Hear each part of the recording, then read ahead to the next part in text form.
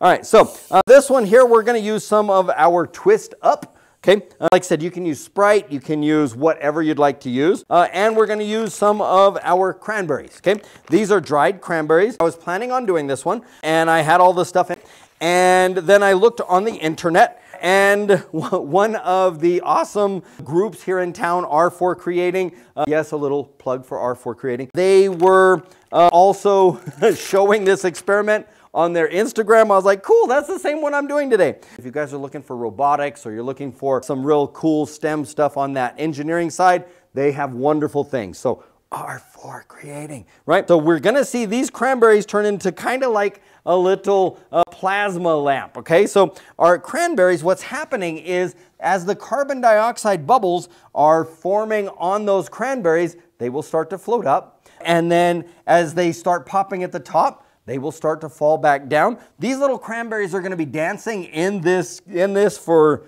a good long while, okay? So we can see our dancing cranberries in there.